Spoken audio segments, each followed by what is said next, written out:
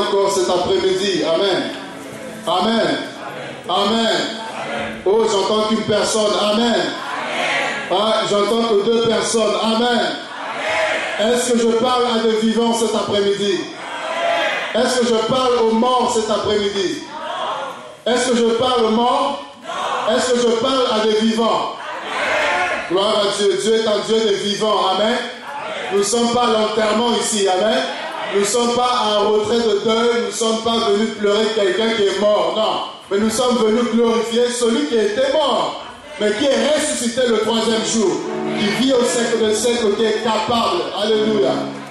Jésus de Nazareth. Dis à ton voisin, voici l'agneau de Dieu. Regarde-le en face, dis-lui, voici l'agneau de Dieu. Non, ce n'est pas un homme ordinaire que tu le présentes, mais c'est un homme extraordinaire. Jésus-Christ de Nazareth. Amen. Voici l'agneau de Dieu. Voilà ce que nous allons partager cet après-midi. Je, je luttais pour connaître la volonté de Dieu, pour connaître la nourriture pour ce temps, pour aujourd'hui. Et alors le Seigneur m'a dit, voilà ce que tu vas partager. Amen. Voici l'agneau de Dieu. Nous sommes dans Genèse chapitre 22. Nous allons prendre trois passages de, base. Le message sera basé donc sur trois passages. Le premier étant Genèse chapitre 22. Genèse 22. Voici l'agneau de Dieu. Nous lisons ensemble, si nous en trouvons, Genèse chapitre 22. Si on peut lire tous ensemble pour honorer la parole, nous nous mettons debout, s'il vous plaît.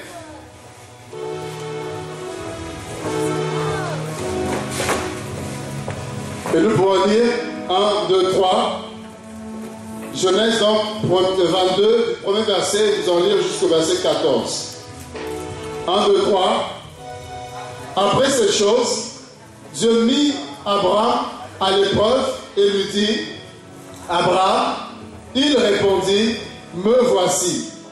Dieu dit, prends ton, prends ton, ton, ton fils, ton, ensuite, ton fils, ton, dis à quelqu'un ton unique, ce que tu, celui que tu aimes, Isaac, va-t'en au pays de, et offre-le en holocauste sur l'une des montagnes que je te dirai. Abraham se leva de beau matin, sella son âne et prit avec lui deux serviteurs et son fils Isaac. Il fondit du bois pour l'holocauste et partit pour aller au lieu que Dieu lui avait dit. Le verset 4.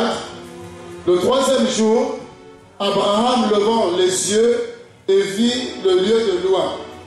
Et Abraham dit à ses serviteurs, restez ici avec l'âne, moi et le jeune homme, nous irons jusque-là pour adorer. Dis à quelqu'un, adorer. Et nous reviendrons auprès de vous. Nous reviendrons auprès de, vous. Quelle foi. Abraham prit le bois pour l'Holocauste et le chargea sur son fils Isaac et porta dans sa main le feu et le couteau. Et ils marchèrent tous deux ensemble. Verset 7. Alors Isaac parle, parlant à Abraham, son père dit, Mon père, mon père, et il répondit, Me voici. Fils, Isaac reprit. Voici le, voici le, feu et le, le bois. Mais où est l'agneau pour l'Holocauste? Abraham répondit, Mon fils, Dieu se pourvoira lui-même de l'agneau pour l'Holocauste. Et ils marchèrent tous deux ensemble.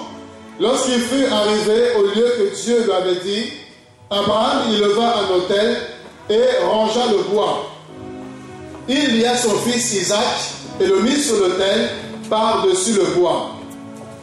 Puis Abraham étendit la main et prit le couteau pour égorger l'animal, pour égorger le taureau, pour égorger le bouc, pour égorger l'agneau. Alléluia. Mais pour égorger donc son fils Isaac. Et le verset 11, alors l'ange l'Éternel l'appela des cieux et dit, Abraham, Abraham. Il répondit, me voici. L'ange dit, n'avance pas ta main sur l'enfant et ne lui fais rien, car je sais maintenant que tu crains Dieu et que tu ne m'as pas refusé ton fils, ton unique. Abraham leva les yeux et vit derrière lui un bélier. Dis à quelqu'un un bélier. Retenu dans un buisson par les cornes, et Abraham alla prendre le bélier et l'offrit en holocauste à la place de son fils. Dis à quelqu'un à la place de son fils. Abraham donna à ce lieu le nom de Yahvé Jiré. C'est pourquoi on dit aujourd'hui à la montagne de l'Éternel, il sera pourvu. Est-ce que nous pouvons acclamer Dieu pour sa parole?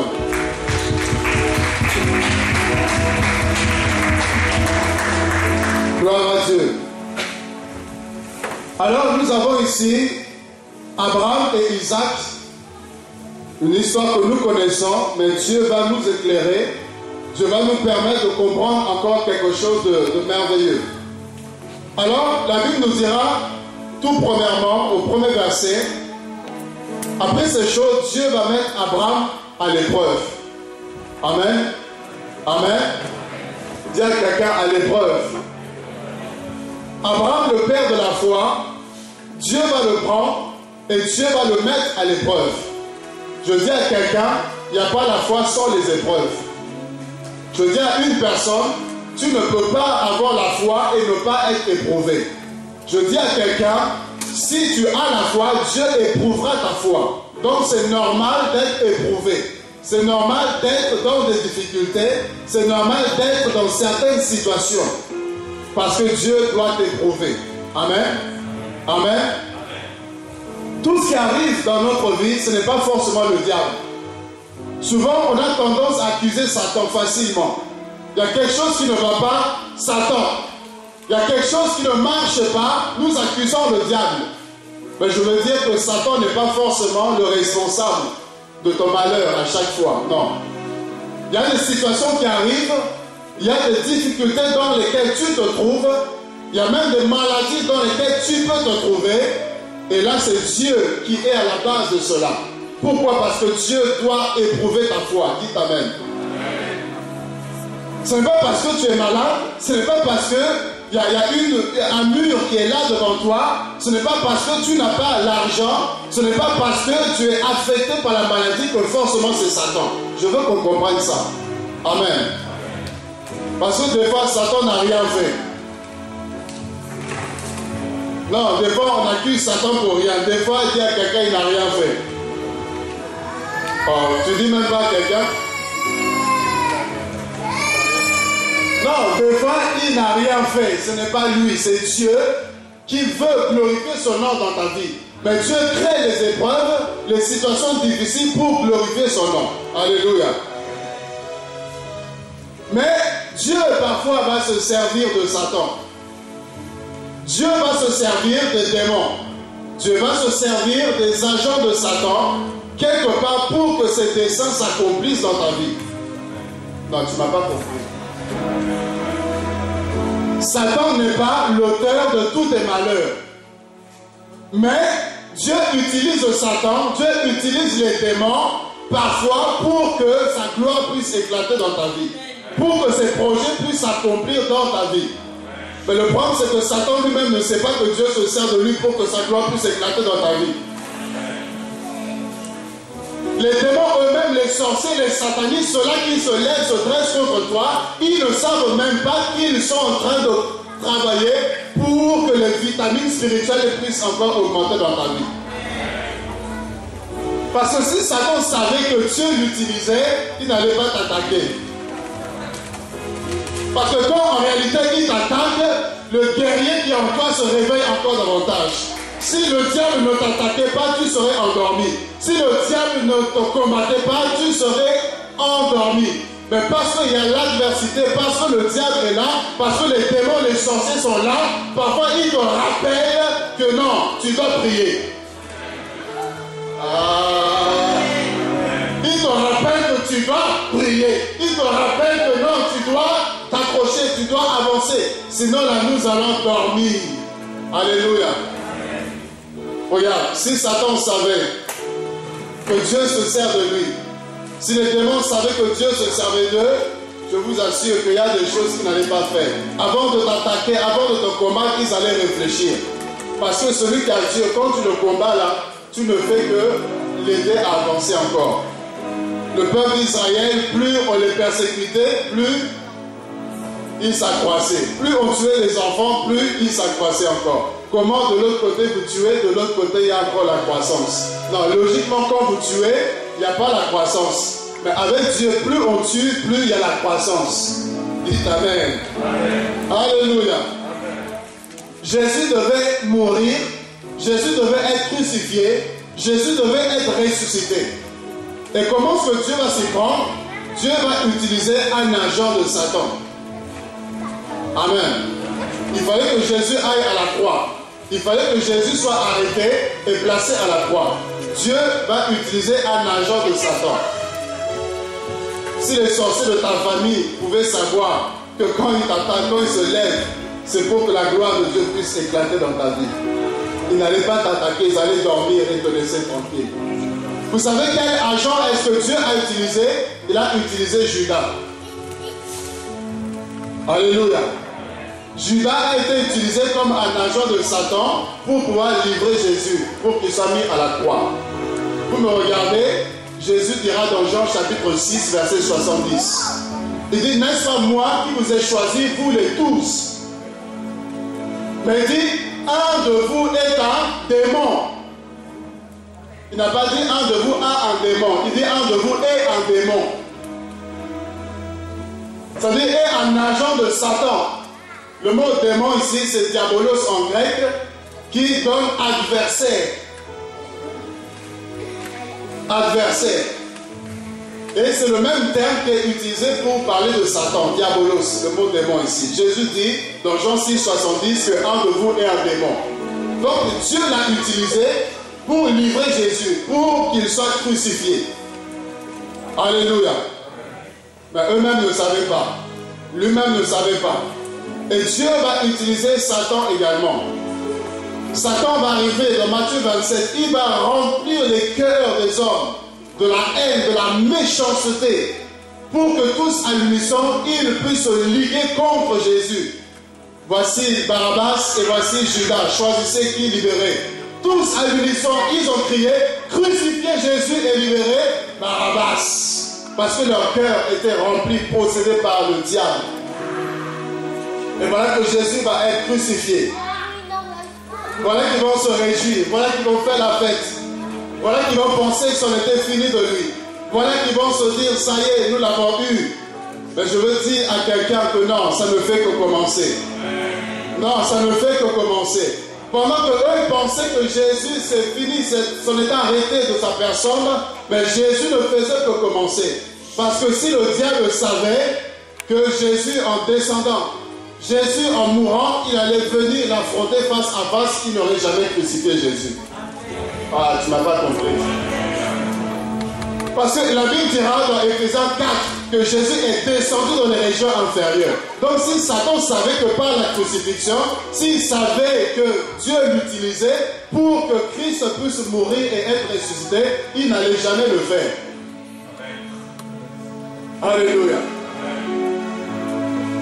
Et regardez, Jésus est mort seul, n'est-ce pas? Jésus est mort seul. Si Satan savait que Jésus n'allait pas mourir seul et ressusciter seul, il n'aurait jamais combattu. La Bible dit il est mort seul, mais il est ressuscité avec les captifs. Amen. Moi, si je dois prêcher pour une personne, je prêche pour cette personne. Celui qui est distrait, c'est son problème. Alléluia. Vous voyez, il meurt seul, mais il descend, il affronte le diable. Et d'ailleurs, il prend les clés de la mort et du séjour des, des morts. Si le diable savait qu'il allait perdre le pouvoir, il n'aurait jamais crucifié Jésus. Il n'aurait jamais possédé Judas pour qu'il puisse livrer Jésus. S'il savait qu'il allait ressusciter avec tous les captifs, s'il savait que Jésus allait ressusciter avec nous autres qui étions condamnés, non, Satan n'allait jamais commettre l'erreur. Alléluia.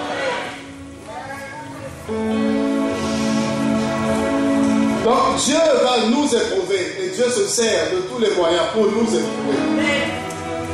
Dieu va se servir de ton mari, de ta femme, de toutes les circonstances pourvu que Dieu puisse éprouver ta foi.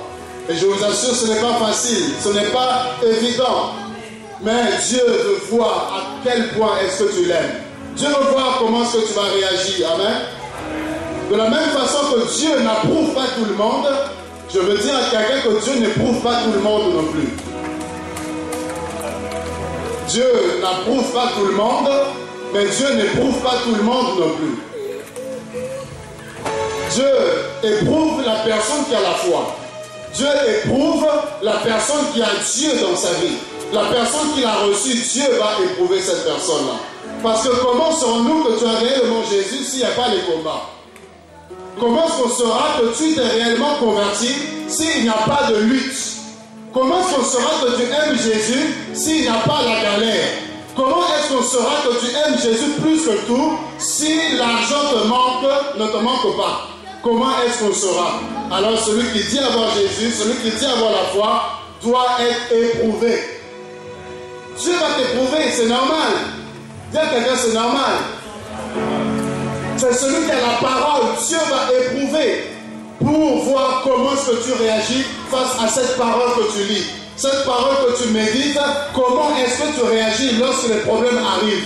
Est-ce que tu doutes de cette parole ou est-ce que tu mets ta confiance, ta foi en Dieu? Dieu t'éprouvera par rapport à la fidélité pour voir à quel point tu es fidèle à Dieu. Est-ce que tu es fidèle à Dieu parce que tout va très bien, parce que tu as mangé, ou est-ce que tu es fidèle à Dieu simplement parce que tu, tu l'aimes un point, un trait Dieu doit éprouver ta foi. Dieu doit éprouver ton cœur. Non pas que Dieu ne te connaisse pas, mais c'est parce que toi-même tu ne te connais pas. Et Dieu, au travers de l'épreuve, Dieu te révèle ton état. Parce que notre personne, c'est l'homme intérieur, ce n'est pas l'extérieur. Parce que nous pouvons paraître, mais en réalité, nous ne sommes pas ce que nous paraissons. Alléluia. Et très souvent, nous sommes dans les apparences. Mais la vraie personne, c'est à l'intérieur.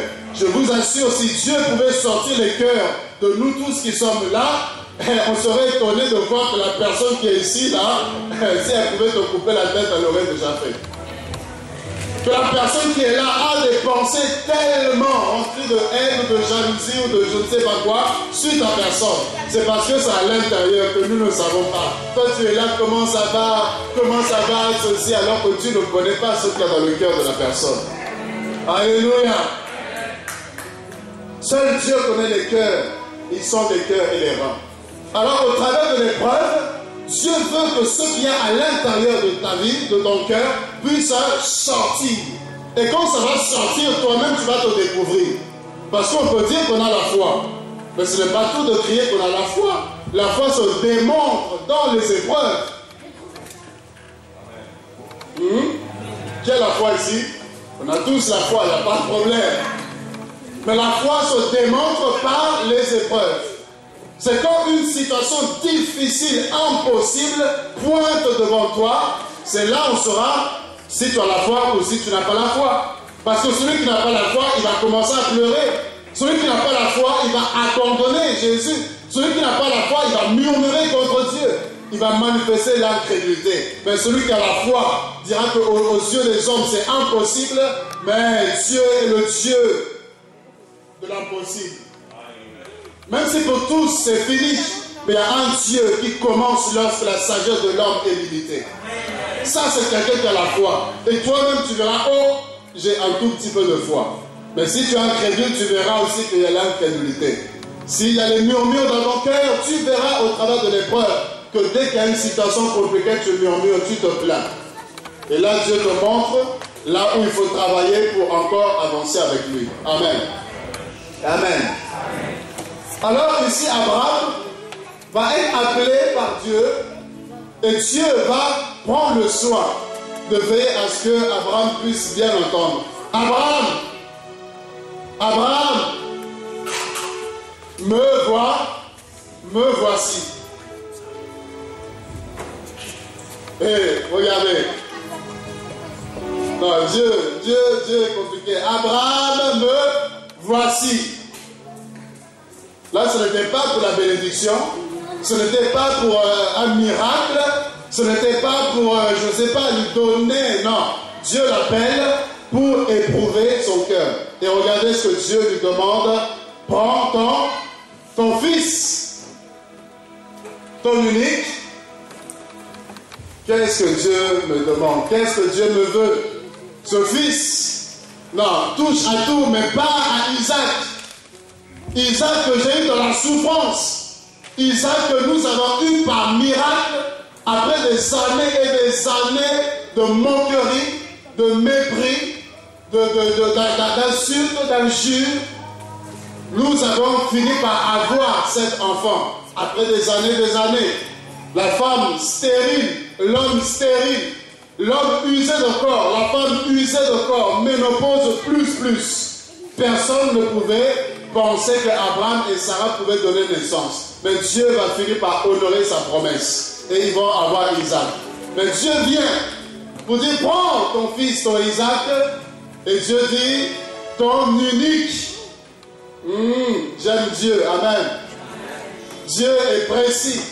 Ton unique. Et Dieu rajoute encore celui que tu aimes. Non, Dieu te demande ce qu'il y a de plus précieux. Dieu te demande ce qu'il y a de plus cher. Et qu'est-ce que tu as de plus cher si ce n'est ton cœur, si ce n'est ta vie? Dieu veut ton cœur, Dieu veut ta vie entièrement. Nous sommes tellement attachés, accrochés à notre vie. Mais Dieu veut justement cette vie. De sorte que tu ne la diriges plus, mais lui puisse conduire, diriger ta vie. Et nous avons tellement du mal à donner notre vie. Ce n'est pas parce que nous le chantons qu'en réalité nous avons donné notre vie à Christ. Non. Ton unique. Pourquoi Dieu précise-t-il ton unique? Parce qu'il est facile de donner quelque chose que nous avons en grande quantité. Est-ce que vous comprenez? Ton unique. Si tu as 10 costumes, tu en donnes un, il t'en reste encore 9. Amen? Amen? Ça va, il t'en reste 9. Mais si tu en as un seul, le seul que tu as, et on te dit donne-le à l'autre personne, là tu vas réfléchir. Comment ce que moi je vais faire? C'est le seul que j'ai, tu vas commencer à calculer. Mais si tu en as plusieurs, si tu en as en grande quantité, ça ne changera rien pour toi. C'est pourquoi Dieu ne demande pas ce que tu as en grande quantité. Mais il demande ton unique. C'est-à-dire quand tu vas donner, ton cœur va, va, serrer. C'est-à-dire ce qu'il y a de plus cher, de plus précieux, c'est ce que Dieu veut. Amen. Et pourquoi est-ce que Dieu dit celui que tu aimes parce qu'en réalité, il est facile de donner quelque chose qu'on n'aime pas. Parce que quelque chose qu'on n'aime pas, au contraire, en donnant, on se débarrasse de la chose. Amen. Tu fais le tour de ta garde-robe. Tu vois, il y a des robes où même la personne que tu aimes la nomme. Ça, là, hum, hum, hum, mais il y en a là, facilement, tu peux lui faire cadeau, facilement. Pourquoi? Parce que tu n'aimes pas. Et Dieu précise vers celui que tu aimes parce qu'il sait que c'est difficile de donner. Amen. Alors il dit, tu vas me l'offrir. Et regardez, Abraham va prendre, n'est-ce pas, son fils. Et il va dire, nous allons aller adorer. Abraham prend son fils, ils avancent, ils partent. Ça c'est moi qui dis, hein. Heureusement qu'Abraham n'a pas dit à Sarah, parce que je ne sais pas comment il allait partir avec Isaac. vous imaginez Sarah qui va porter neuf mois l'enfant, et toi, Abraham, tu vas venir pour dire Dieu a dit de tuer cet enfant qu'il nous a donné, Abraham. Arrière de moi, Satan. Là, elle allait s'opposer à la voix de Dieu pour dire à Dieu ne plaise, il ne pourra pas. Abraham va prendre Isaac et dire on va adorer. Mais Abraham avait une assurance quand même. Puisque Abraham va dire aux serviteurs, restez ici avec l'âne, moi et l'enfant, on va adorer, et nous reviendrons. Abraham n'a pas dit, et je reviendrai. Non, c'est pas pour rien est le père de la foi. Dans l'épreuve, la foi d'Abraham se démontre. Alors que Dieu lui dit, tu vas le tuer, mais Abraham, en partant, il se dit, nous allons revenir, c'est-à-dire lui et l'enfant. C'est pourquoi Hébreu dira, c'est parce qu'il croyait que Dieu était capable de ressusciter l'enfant. C'est-à-dire, même s'il tuait l'enfant, il avait foi que Dieu pouvait le ramener à la vie et il le prenait et repartait avec. C'est pourquoi il a pu le sacrifier. C'est pourquoi il pouvait avancer avec foi. Et regardez ici, il prend Isaac, il le charge le bois, il prend le feu, il prend le couteau et le voilà qu'ils avancent. Ils arrivent sur la montagne, ils arrivent sur le lieu de sacrifice. Et là, il y a un problème. Puisqu'il fallait maintenant passer à l'acte, il fallait maintenant sacrifier. Et regardez, Isaac va se dire, hum, il y a quelque chose qui ne va pas. Il y a quelque chose qui ne tourne pas très rond ici. Nous sommes venus pour sacrifier, nous sommes venus pour adorer, mais il n'y a pas d'animal. Nous avons tout sauf l'animal. Alors, où est là où est l'agneau? Il y a le feu, il y a le bois, mais où est là l'agneau? Quelle question. Viens ton voisin, quelle question. Où est là l'agneau? Il y a le feu, il y a le bois, il y a tout ce qu'il faut, mais où est l'agneau pour le sacrifice? Mais s'il ne savait pas que l'agneau, enfin, le sacrifice était lui-même. Abraham savait que le sacrifice, l'agneau qui lui demande là, c'est lui. Mais lui ne savait pas que c'est lui qui devait être sacrifié. Voilà pourquoi il demande où est l'agneau. Comme s'il y avait un agneau qui devait être sacrifié à sa place alors que c'est lui qui était appelé à être sacrifié. Est-ce que vous comprenez? Est-ce que vous comprenez? Il demande l'agneau alors que c'est lui qui devait être l'agneau ou l'animal qui devait être sacrifié. La personne qui devait être sacrifiée. Mais lui demande comme s'il y a un agneau qui devait mourir à sa place. Non, c'est lui qui devait mourir. Amen. Alors, regardez ici, Abraham, face à une telle question, qu'est-ce qu'Abraham pouvait répondre? Qu'est-ce qu'Abraham pouvait dire? Abraham dit Dieu, Dieu, Dieu, hum, j'entends pas. Où est l'agneau? Abraham dit Dieu. Non, je veux bien vous entendre. Qui dit pourvoira Il y en a qui disent Dieu pourvoira. Non. Abraham ne dit pas Dieu pourvoira justement. Abraham dit Dieu se pourvoira. Là, quelqu'un, c'est pas pareil. Où est l'agneau? Abraham ne dit pas Dieu pourvoira. Mais Abraham nous dit Dieu se pourvoira. Quelle foi encore une fois Alors que pour lui, Abraham savait très bien que c'est Isaac qui devait être sacrifié. Mais comment est-ce qu'il pouvait dire encore Dieu se pourvoira puisque l'animal était déjà là? Puisque le sacrifice était déjà là. Comment qu'il pouvait encore dire Dieu se pourvoira? Ça, c'est encore la foi d'Abraham. Et Dieu honore la foi. Amen. Dieu honore la foi. Et vous verrez que lorsqu'ils vont arriver au lieu, Abraham va tout mettre en œuvre pour sacrifier son fils. Ça, ça il le place là. Mais vous verrez que Isaac est obéissant. Vous verrez que Isaac était, était soumis. Isaac avait confiance en Abraham. Parce que pour se laisser attacher comme un animal, se placer sur le terre, et être là pour se faire égorger, brûler. Non, il fallait, il fallait une soumission, il fallait une obéissance. Vous n'avez pas vu que Isaac a résisté à Abraham. il s'est laissé. Amen. Amen. Là, une autre fois, je, parlerai de, Isaac comme préfiguration de Christ. Et là, on va voir plusieurs choses. Mais là, par rapport au message, je ne vais pas toucher ces aspects. Je toucherai dans l'autre message. Isaac, l'image de Christ. Mais vous verrez là, l'obéissance, ça doit vous rappeler quelque chose. Il n'a pas ouvert la, la bouche. Comme une brebis muette devant ceux qui l'attendent. Il n'a pas résisté. Isaac n'a même pas résisté. Il se laisse attacher là, tout ça, le feu, le bois, tout ça. Et Abraham prend le couteau. Et Abraham était prêt à passer à l'action. Parce que jusque-là, n'est-ce pas, il n'était pas encore arrivé à ce niveau. Mais là, le temps approchait et là, maintenant, c'était le moment où il fallait sacrifier l'enfant. Et là, c'était un moment douloureux. Abraham certainement devait penser à comment est-ce qu'il va annoncer ça à Sarah. Amen. Amen. Comment est-ce qu'il allait annoncer à Sarah que quand tu m'as vu partir avec l'enfant, en fait c'était pour le tuer là-bas. Je l'ai sacrifié, il n'y a plus d'Isaac. Vous imaginez la réaction de Sarah, de Sarah?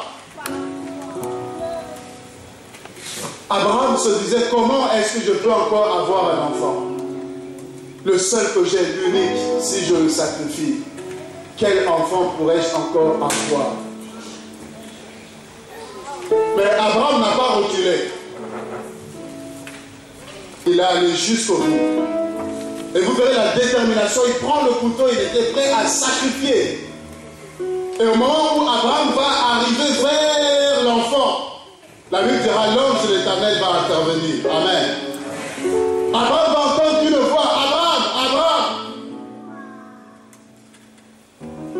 C'est pourquoi nos oreilles doivent être ouvertes pour entendre Dieu. Parce que là, si tu n'entends pas, tu vas tuer Isaac. Il a fallu qu'Abraham puisse écouter la voix. Il entend la voix. Et lorsqu'il entend la voix, il s'arrête. Parfois, la voix de Dieu se fait retentir. Si on l'écoutait, ça nous évitait beaucoup de choses. Il y a des Isaac qui meurent dans nos vies, c'est parce que nous n'entendons pas la voix de Dieu. Parce que nous n'entendons pas l'ange de l'éternel. Si Abraham n'avait pas entendu, Isaac serait mort. Abraham, Abraham, arrête et Dieu dira, j'ai vu combien tu m'honores, j'ai vu combien ton cœur est attaché à moi, j'ai vu combien tu es prêt à sacrifier même ton fils, ton unique, à me donner ce de plus précieux. Non, j'ai vu. Et Dieu m'a dit, retire ta main, retire le couteau de l'enfant, il ne mourra pas. Alléluia. Alléluia. Et regardez avec moi, verset 13. Isaac avait demandé à Abraham où est là, où est l'agneau? Et Abraham avait répondu, Dieu se, se pourvoira. Hmm. Non pas Dieu pourvoira, mais Dieu se pourvoira. Et regardez ici, verset 13, la Bible dira quoi? Abraham va lever les yeux. Et qu'est-ce qu'Abraham va voir? L'agneau. Oh. Dieu se pourvoira. Où est l'agneau? Dieu se pourvoira. Ça, c'est la foi d'Abraham. Alors, il lève les yeux. Qu'est-ce qu'il voit? Un, un bélier qui était là, attaché, par qui on ne sait pas. Pourquoi on ne sait pas? Mais là, le bélier était là, attaché, et Abraham va aller, il va prendre le bélier, et il va le sacrifier à la place d'Isaac. Est-ce que Dieu a pourvu ou pas? Dieu s'est pourvu ou pas? Hein? Qui dit que Dieu s'est pourvu comme Abraham l'avait annoncé Qui dit que Dieu ne s'est pas pourvu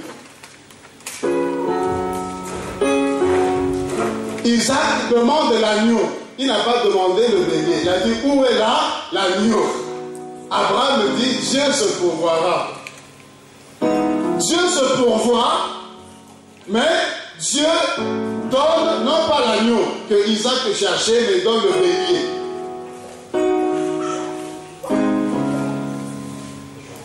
Le verbe se pourvoir en hébreu c'est haha. Ça signifie simplement se présenter, s'exposer, être vu. Donc, comprenons ici que quand Abraham dit Dieu se pourvoira, en hébreu, littéralement, Abraham veut dire Dieu se présentera. Dieu se montrera. Dieu se, manifestera. Est-ce que vous comprenez? Ça va? C'est pourquoi il ne dit pas Dieu pourvoira, Dieu se pourvoira. C'est-à-dire Dieu se montrera, Dieu se révélera, Dieu s'exposera. Et là, nous voyons le bélier qui va se présenter comme étant la solution, le sacrifice. Amen. Amen. Amen. Pourquoi le bélier? Le bélier, c'est le père de l'agneau.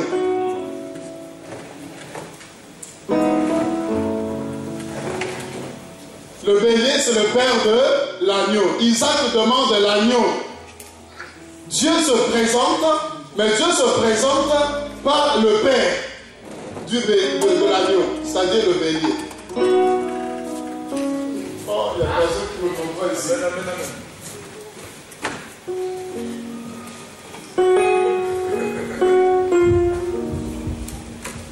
Dieu se révèle par le, le bélier, c'est-à-dire le père.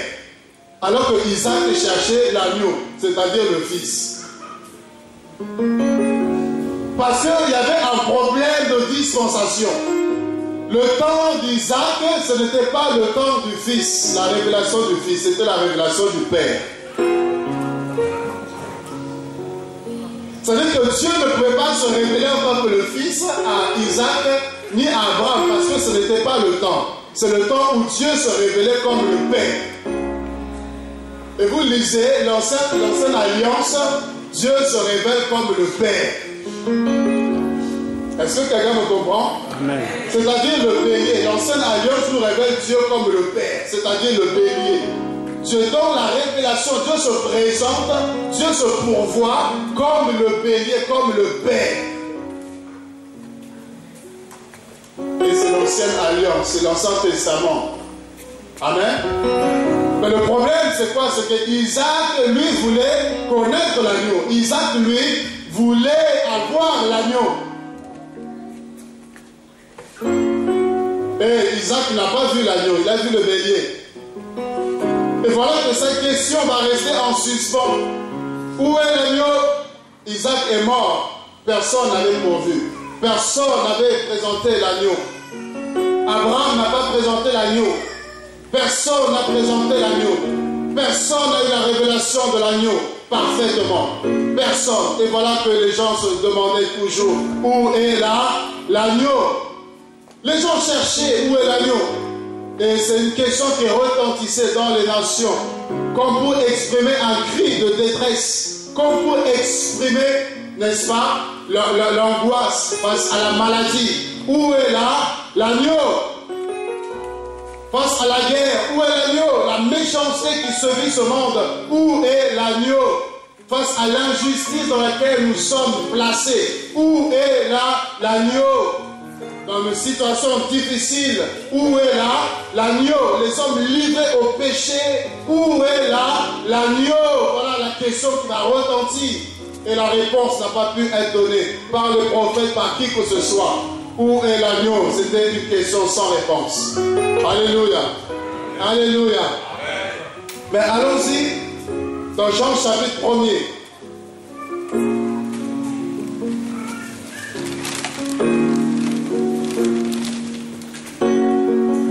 Jean chapitre 1er. Voilà que la question qui était sans réponse, cette question va trouver la réponse. Les questions ont une réponse. Et cette réponse est une personne, c'est-à-dire Jésus-Christ de Nazareth. Amen. La Bible dira dans Jean chapitre 1er, au verset 27. Jean dira, je me suis bâti de délier la courroie de ses souliers. Ces choses se passaient en Bethanie, au-delà du Jourdain, où Jean baptisait. Le verset 29 Jean dira, le lendemain, il vit Jésus venant à lui. Il dit, voici là l'agneau de Dieu qui ôte le péché du monde. Alléluia. Voici l'agneau de Dieu qui ôte le péché du, du monde. Abraham n'avait pas su répondre à cette question. Les prophètes n'ont pas su répondre à cette question. Mais Jean-Baptiste va répondre à la question de tous les hommes qui se demandaient où est l'agneau. Par rapport au problème du péché, où est l'agneau? Par rapport à la maladie, où est l'agneau? Par rapport aux situations difficiles, aux questions sans réponse, où est l'agneau? Mais voilà que quand Jésus va arriver, voilà que quand le Fils va être révélé, Jean va le voir et Jean va annoncer, Jean va répondre, indexer la personne de Jésus, de sorte que toutes les personnes qui avaient besoin de solutions, toutes les personnes qui avaient besoin de délivrance, toutes les personnes qui avaient besoin de guérison, toutes les personnes qui avaient besoin d'être restaurées, toutes les personnes qui avaient besoin d'être libérées, délivrées, il indique, il annonce, voici l'agneau de Dieu et il rajoute qu'il ôte le péché du, du monde. Parce que moi, je vous baptise au dos, mais je n'ai pas le pouvoir d'ôter le péché. Mais celui qui vient, il a le pouvoir d'ôter le péché. C'est pourquoi les disciples de Jean-Baptiste, ils ont dit, nous avons reçu le baptême, merci Jean-Baptiste, mais nous avons le péché qui est là. Mais celui qui peut nous délivrer, c'est lui. Alors ils ont laissé Jean-Baptiste et ils ont suivi Jésus. Parce qu'il est l'anneau qui ôte le péché du monde. Alléluia. Voilà la réponse qui va être donnée. Voici l'agneau de Dieu. Et l'agneau a été la solution et il est la solution. Amen.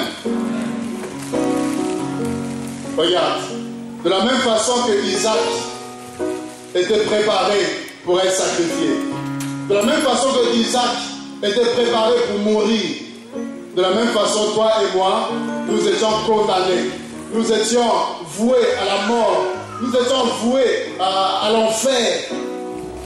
Mais Dieu s'est pourvu. Amen. Amen. De la même façon que Dieu s'est pourvu, de sorte que Isaac ne meurt pas. De la même façon, Dieu s'est pourvu, de sorte que toi et moi, nous ne mourions pas.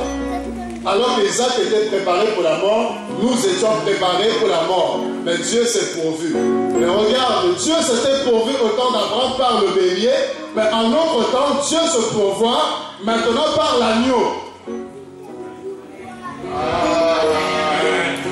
Isaac aurait voulu voir l'agneau. Toi, tu vois l'agneau et puis toi, tu es comme ça. Les prophètes, la Bible dit, qui ont prophétisé, qui ont annoncé ces choses, ils auraient voulu vivre ce que nous nous vivons. Ils auraient voulu connaître ce que nous nous connaissons. Ils auraient voulu avoir la révélation de Christ comme nous nous l'avons. Mais nous, nous avons la révélation, nous connaissons l'agneau, tout ça, mais nous sommes là comme si on ne connaissait pas. Comme si on vivait encore dans l'ancien temps. Non, nous avons la révélation de Christ, alors on doit avancer, on doit aller de l'avant. On doit faire plus même que ceux qui n'avaient pas la révélation de Jésus. Amen. Amen. Est-ce que vous me suivez? Est-ce que vous me suivez encore? Dieu s'était pourvu par le bélier, mais Dieu se pourvoit maintenant par l'agneau. Et nous, nous avons la réponse. C'est-à-dire, quand je rentrerai au ciel, je dirai à Isaac que tu avais demandé l'agneau. Mais tu n'avais pas eu la révélation de l'agneau.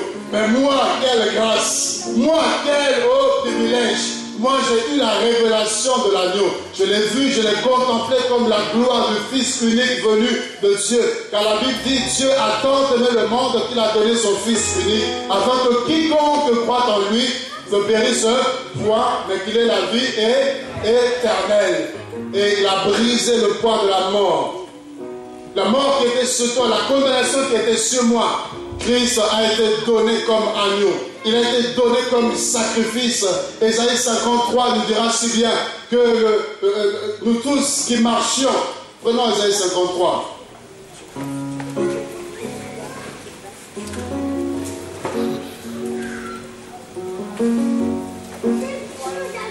Voyez, Christ est l'agneau. Voici l'agneau. L'agneau qui va mourir à la place des hommes pécheurs, méchants que nous étions. Le verset 4, cependant, ce sont nos souffrances qu'il a portées. C'est de nos douleurs qu'il s'est chargé. Et nous l'avons considéré comme puni, frappé de Dieu et humilié. Le verset 6. Nous étions errants comme des brebis, chacun suivait sa propre voie. Et l'Éternel a fait retomber celui l'iniquité de nous tous. Le verset 12. C'est pourquoi je lui donnerai sa part avec les grands. Il partagera le butin avec les puissants.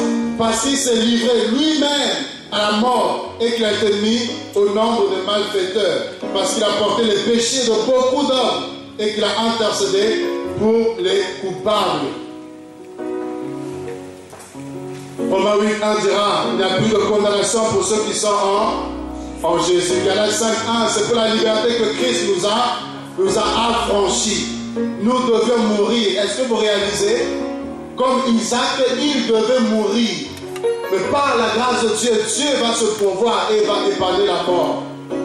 Dieu nous a épargné de l'enfer. Dieu nous a épargné de la colère à venir. Et Dieu va prendre la place. Romains 5, 8, Dieu prouve son amour envers nous. Parce que lorsque nous étions pécheurs, Christ est mort à notre place. Et Galate nous dira qu'il a, il a, pris la malédiction. Le poids de la malédiction de nous autres, Christ l'a pris sur lui. Et il a été crucifié car il est dit maudit. Quiconque est pendu au bois, Christ a pris ta malédiction pour que tu sois béni. De riche qu'il était, il s'est pauvre. Il a pris ta pauvreté pour que toi tu sois riche. Le mort que tu étais, que j'étais, Christ est mort pour que nous ayons la vie. C'est pourquoi nous devons glorifier son nom. C'est pourquoi on ne peut pas rester sans mot dans sa présence. On ne va pas nous forcer à l'adorer. Non, quelqu'un qui est mort pour toi, quelqu'un qui accepte de donner sa vie alors qu'il est pur, il est parfait, alors qu'il n'a rien fait, il meurt pour des injustes, pour des voleurs, pour des meurtriers comme nous. Non, il mérite d'être élevé. Amen. Voilà Amen. Prenons Romains chapitre 7.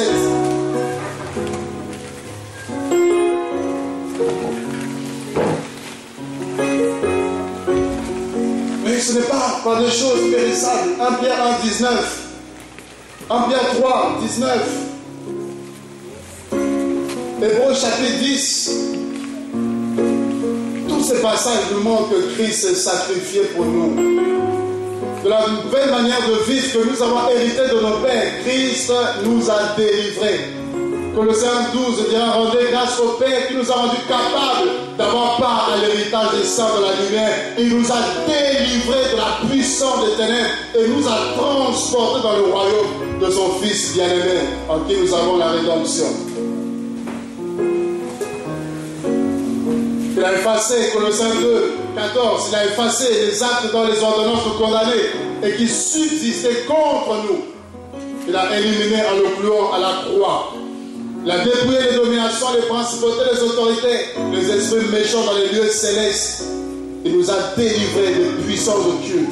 Il nous a délivrés de la sorcellerie, délivrés de la main de Satan pour que nous soyons libres. Libres de l'adorer, libres de le servir, libres de glorifier son nom. Amen. Romains chapitre 7.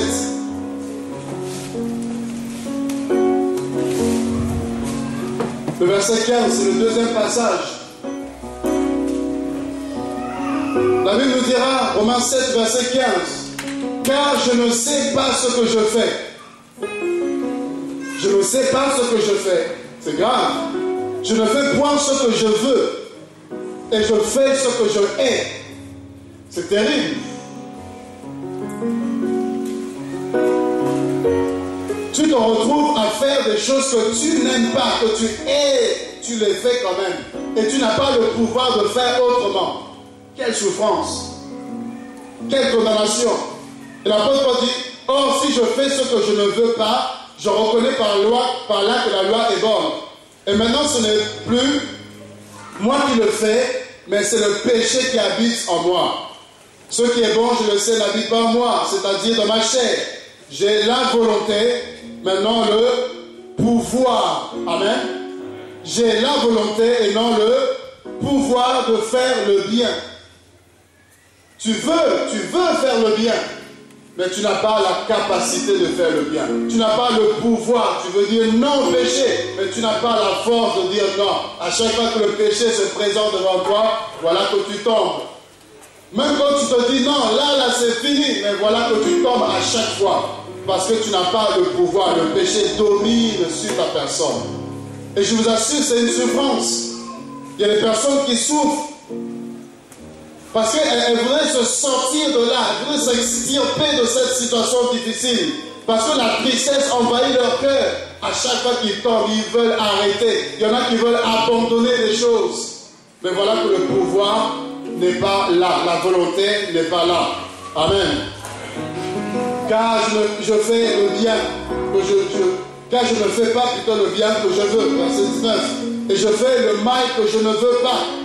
Et si je fais ce que je ne veux pas, ce n'est plus moi qui le fais. C'est le péché qui habite en, moi.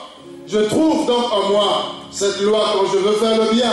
Le mal est attaché à moi, car je prends plaisir à la loi de Dieu selon l'homme intérieur. Mais je vois dans mes membres une autre loi qui lutte contre la loi de mon entendement et qui me rend captif de la loi du péché qui est dans mes membres. Verset 24, regardez ce que Paul dira. Misérable que je suis, qui me délivrera de ce corps de mort?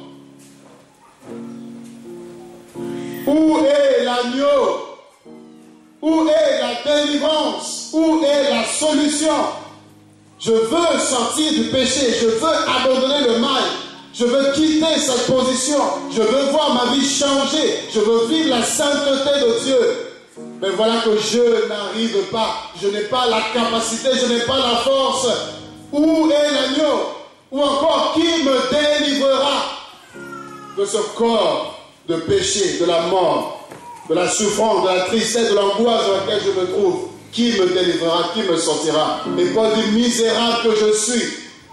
Mais je veux dire à une personne que Dieu se pourvoit toujours. Amen. Amen. Et regardez la réponse. Misérable que je suis. C'est une question. C'est un cri qui va être lancé. Qui suis-je? Misérable. Et qui peut me délivrer? Alors, où est-il? Mais la Bible nous dira, grâce rendue à Dieu pour Jésus-Christ. Grâce rendue à Dieu pour Jésus-Christ. Oh, grâce rendue à Dieu pour Jésus-Christ. Tu peux, tu peux un tout petit peu craindre Dieu aujourd'hui. C'est la grâce de Dieu. C'est la grâce de Dieu. Tu peux marcher un tout petit peu dans la sainteté. Tu peux respirer la sanctification. Tu peux respirer la présence de Dieu. Tu peux dire non au péché. Tu peux fuir le péché. Tu peux ne pas bouger face au péché, à la tentation. Frère, ce n'est pas parce que tu es quelqu'un. Ce n'est pas parce que tu es fort. Mais c'est purement la grâce de Dieu. C'est parce que Jésus-Christ, l'agneau de Dieu, est mort à la croix. Et en mourant à la croix, il a réduit en puissant le péché. Il a réglé le problème du péché. De sorte que celui qui croit en lui a maintenant le pouvoir sur le péché, a la domination sur le péché. De sorte qu'au nom de Jésus, ce n'est pas par moi-même, mais c'est au nom de Jésus, cigarette, je te chasse.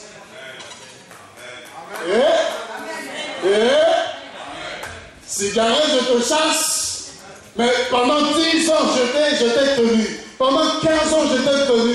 En publicité, pendant 15 ans, t'as tenu. Mais là, aujourd'hui, grâce à Jésus-Christ de Nazareth, grâce à l'agneau de Dieu qui est mort à la croix pour moi, grâce à Christ, je peux dire non même si ça fait 10 ans que j'étais dedans, même si ça faisait 15 ans, je ne sais pas, toi-même tu sais ce qui dérange ta vie, même si ça faisait 20 ans, mais Christ est mort pour te donner le pouvoir, pour te donner la capacité de regarder cette chair, de dire chair, tu as été crucifié, parce que celui qui est en Christ a crucifié la chair et ses désirs. Passion de la chair, désir de la chair, au nom de Jésus-Christ de Nazareth, moi je désire Dieu, je désire les choses de Dieu, je désire les choses d'en haut. Alors la chair va s'écraser et se soumettre. Aujourd'hui, le menu du jour, c'est jeûne et prière. La chair va... Je croyais que le menu c'était Colombo, je ne sais pas quoi. Non, Aujourd'hui, au menu, c'est jeûne et prière. Chair sait qu'elle a été vaincue. La chair sait que tu as pouvoir sur elle. Alors elle va se soumettre et nous allons jeûner et prier au nom de, de Jésus. Et demain, on se réveille. Elle se dit, là, tu vas lui laisser un peu de repos. Et tu te lèves, tu dis, aujourd'hui, c'est retraite deux jours à sec. Hum, là, il n'y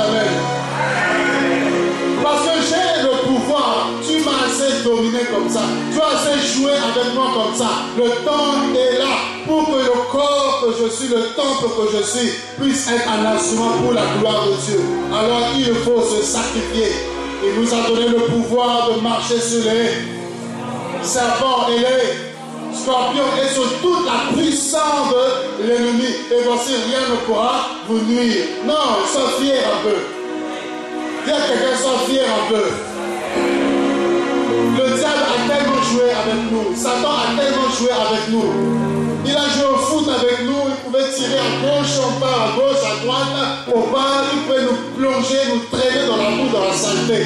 Mais ce temps-là été révolu.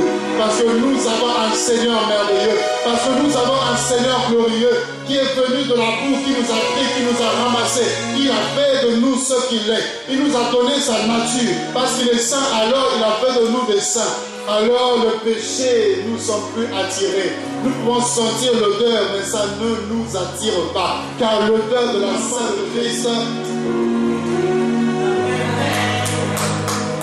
Qui me délivrera? Je ne sais pas, tu connais ta vie, tu sais peut-être que tu es coincé, peut-être que tu es là, tu cherches qui peut être l'espoir pour toi, qui peut être la solution pour toi, qui peut te sortir de cette situation dans laquelle tu te trouves. Il y a une main qui t'est tendue. Cette main s'appelle Jésus-Christ de Nazareth. Saisis cette main et tu vas sortir de là. Saisis cette main, tu sors de la dépression. Tu saisis cette main, tu sors de l'angoisse. Tu saisis cette main, tu sors de la tristesse dans laquelle tu es plongé. Alléluia. Je termine Apocalypse chapitre 5. Il est l'agneau. Dieu se pourvoira. Dieu se pourvoira. Abraham n'avait pas menti. Dieu se pourvoira. Dieu se révélera. Dieu se présentera. Il s'est présenté comme le Père. Mais Hébreu 1 nous dira Dieu, après nous avoir parlé de plusieurs manières et à plusieurs reprises, mais dans ces temps de la fin, Dieu se révèle. Dieu se pourvoit par le Fils. Dieu parle par le Fils. Apocalypse chapitre 5. L'agneau de Dieu est là pour toi. L'agneau de Dieu a été sacrifié pour toi. Quelqu'un est mort pour se charger de tes péchés. Quelqu'un s'est chargé de tes souffrances. Il s'est chargé de ta maladie pour que tu sois en bonne santé. Regarde, Apocalypse 5. Puis je vis dans la main droite de celui qui était assis, le trône, sur le trône, un livre écrit en dedans et en dehors, scellé de sept sceaux. Le livre était là. Jean va voir ce livre. Mais il y avait un problème. Un ange puissant. Je lève les yeux vers les montagnes, tu me verras le secours. Le secours ne vient pas d'un ange puissant, puisque cet ange était puissant. Mais cet ange n'a pu apporter la solution. Cet ange n'a pu constituer la solution. Alléluia. Et je vis un ange puissant qui criait d'une voix forte, qui est digne d'ouvrir le livre et d'en rompre les, les. Et personne dans le ciel, ni sur la terre, ni sous la terre, ne peut ouvrir le livre, ni le regarder. Et Jean dit au verset 5, et je pleurais beaucoup de ce que personne ne fut trouvé digne d'ouvrir le livre ni le regarder. Je pleurais beaucoup de ce que personne ne fut trouvé digne d'ouvrir le livre ni le, le regarder. Voilà que ce livre qui était là, qui était scellé, qui pouvait l'ouvrir Qui pouvait ouvrir ce qu'il y avait dans ce livre Un ange puissant Non, cet ange lui-même, quelle que soit sa puissance, lui-même écrit pour chercher qui peut ouvrir le livre. Tu as regardé à ton oncle, mais ta vie n'a pas changé. Tu as regardé à ton père, mais ta vie n'a pas changé. Tu as regardé à ta famille, mais ta situation est restée la même. Tu as regardé aux hommes autour de toi, tu as été déçu. Tu as regardé à ton argent, tu as été déçu. Et tu te dis, qui peut être la solution pour moi? Vers qui vais-je encore me tourner? Qui peut quelque chose à ma vie? Et voilà que la question est posée. Qui, qui, qui peut ouvrir le livre et rompre les sept Et c'est une question qui était sans réponse. Et Jean a pleuré. Jean a pleuré. Jean a pleuré. Si tu regardes bien, peut-être que ta vie ressemble au cas de Jean. C'est-à-dire quand tu regardes à une situation de ta vie, quand tu t'arrêtes un peu, tu fais le point sur ta vie, tu pleures, et tu pleures, et tu pleures, et tu pleures. Et personne ne peut te consoler. Personne ne peut sécher ses larmes. Et tu pleures, tu gémis, tu pleures, tu gémis, tu pleures. Parce que le mari est parti, parce que le cancer est là, parce qu'on a dit, je ne sais pas quelle maladie, parce qu'il y a une situation qui est là et tu ne fais que pleurer, pleurer et pleurer et pleurer. Et je veux te dire qu'il y a une solution pour toi. Amen. Jean a pleuré, mais regardez au verset 5.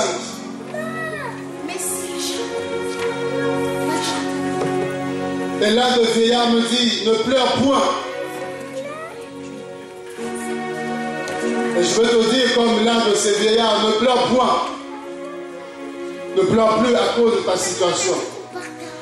Ne pleure plus à cause de ce problème. Je parle à une personne, Dieu a entendu, tu t'es enfermé et tu as crié à Dieu, tu as dit jusqu'à quand Seigneur? Jusqu'à quand Seigneur? Quand tu t'es enfermé dans ta chambre cette semaine précisément, cette semaine précisément, tu as crié à Dieu, tu as poussé ce cri de gémissement pour dire Dieu, jusqu'à quand cette situation va rester inchangée? Et Dieu te dit ne pleure plus pour cette situation. Car à partir de maintenant, cette situation est réglée. Cette situation est réglée. Tu verras les choses rentrer dans l'ordre. Tu verras l'accomplissement des promesses de l'éternel.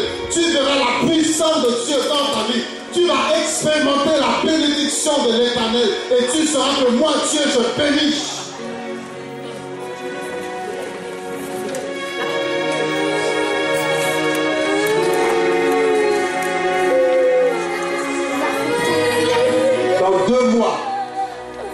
D'ici deux mois, d'ici deux mois, Dieu te donne deux mois. Dans deux mois, tu vas voir les choses que Dieu va commencer à opérer. Tu vas voir les choses que Dieu va commencer à faire. Oh, tu vas t'étonner, tu vas t'étonner. Oh, tu vas t'étonner, tu vas voir Dieu autrement. Tu vas réaliser la puissance de Dieu autrement. Tu vas voir la grandeur de ce Dieu autrement. Tu liras la parole et tu vivras la parole et tu glorifieras ce Dieu. Ne pleure plus. Ne pleure plus. C'est une prophétie qui a arrêté. Elle court vers son terme. Elle court. Elle ne marche pas, elle court. Elle arrive vers toi. Elle arrive vers toi. Elle arrive vers toi. Elle arrive vers toi. Le temps de l'accomplissement de la promesse de Dieu arrive. Il est dit que la renommée de l'éternel s'est accrue par l'accomplissement de ses promesses. Dieu n'est pas un homme pour mentir, ni fils d'homme pour se repentir. Quand Dieu parle, il accomplit.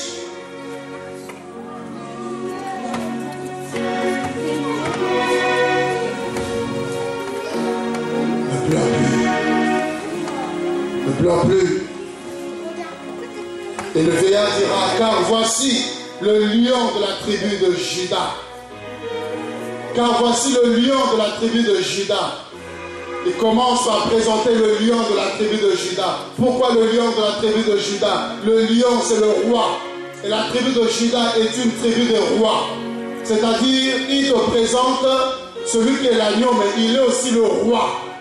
Et ce n'est pas n'importe quel roi, c'est le roi des rois. le roi des rois qui sort de la tribu de Judas. C'est-à-dire, il est le roi des rois. Et s'il est roi des rois, il est seigneur des, des seigneurs. Il règne dans ta vie. Le lion de la tribu de Judas. Et voici le rejetant de David, a vaincu pour ouvrir le livre et les sept sceaux. Je vis au milieu du trône des quatre êtres vivants et au milieu des vieillards un agneau qui était là comme immolé. Il avait sept cornes et sept yeux, qui sont les sept esprits de Dieu envoyés par toute la terre. Il vint et il prit le livre. Oh, qui est digne d'ouvrir le livre? Qui est digne de rompre les sceaux? Voici celui qui est capable. Voici celui qui peut. L'agneau de Dieu, lui, vient. Il a vaincu. Et il prend le livre là où personne ne pouvait le prendre. Là où personne ne pouvait apporter quelque chose dans ta vie. Là où personne ne pouvait résoudre ton problème. Lui prend ton dossier en main. Je dis à une personne que Dieu prend ton dossier en main. Lui est capable de prendre le livre. Et non seulement de le regarder, mais il est capable de l'ouvrir. Et quand il l'ouvre, il y a des paroles pour toi. Il y a des paroles de bénédiction pour toi. Il y a des paroles merveilleuses pour toi. Il l'ouvre, il l'ouvre, il l'ouvre là où personne ne pouvait. Je dis là où ta famille n'a pas pu ouvrir les portes, Dieu va ouvrir les portes. Là où ton mari n'a pas pu ouvrir, Dieu va ouvrir les portes. Là où ton argent n'a pas pu ouvrir, Dieu va ouvrir les portes. Tout ce qui était fermé, tout ce qui était scellé dans ta vie, Dieu va commencer à ouvrir. Ouvrir au nom de Jésus. De sorte que là où tu pleurais hier, aujourd'hui tu auras les 32 dents dehors. Aujourd'hui tu seras une femme heureuse. Aujourd'hui tu seras un homme heureux. On ne comprendra pas pourquoi est-ce que tu es joyeux. On ne comprendra pas pourquoi est-ce que tu ne fais que rire. Non, parce que j'ai un Dieu qui est glorieux. J'ai assez pleuré. De la même façon que tu as pleuré, Dieu dit à une personne, de la même façon que tu as pleuré, de la même façon tu vas te réjouir maintenant. De la même façon tu vas chanter maintenant. De la même façon tu vas adorer Dieu maintenant. Parce que tu as assez pleuré. Le temps arrive où tu dois pleurer, mais face à la grandeur de Dieu. Tu dois pleurer pour exprimer la gloire de ce Dieu. Alléluia. Et non plus pour les problèmes. Amen. Amen. Et regardez pour terminer, verset 8. Quand il prit le livre, les quatre êtres vivants et les 24 vieillards se prosternèrent devant l'agneau, tenant chacun une harpe et des coupes d'or remplies de parfums, qui sont les prières des saints. Ils chantaient un cantique nouveau. Le temps arrive où tu vas chanter des chants nouveaux. Tellement que ce Dieu fait dans ta vie, même si la voix n'est pas là, mais le cœur va commencer à entonner des chants à la gloire du Seigneur. On ne comprendra pas, sous la douche, Jésus est Seigneur. Dans le bus, Dieu est bon. Tu chanteras des chants nouveaux, des cantiques nouveaux, à la gloire de l'agneau. Alléluia. Et il dit, le verset 10, tu as fait d'eux un royaume de sacrificateurs pour notre Dieu et règneront sur la terre. Je regardais et j'entendis la voix de beaucoup d'anges autour du trône et les êtres vivants, les vieillards. Et leur nombre était de myriades et de myriades, milliers et de milliers. Ils disaient d'une voix forte, l'agneau qui a été immolé est digne de recevoir, l'agneau qui a été immolé est digne de recevoir la puissance, là, oh, je veux vous entendre. La richesse, là, la sagesse, là, la force, l'honneur, là, la gloire est là, la louange et toutes les créatures qui sont dans le ciel, sur la terre et sous la terre, sur la mer et tous ceux qui s'y trouvent, je les entendis qui disaient à celui qui est assis sur le trône et à l'agneau soit la louange, l'honneur, la gloire et la force au siècle de siècle. Que tous les saints disent Amen. Gloire à l'agneau.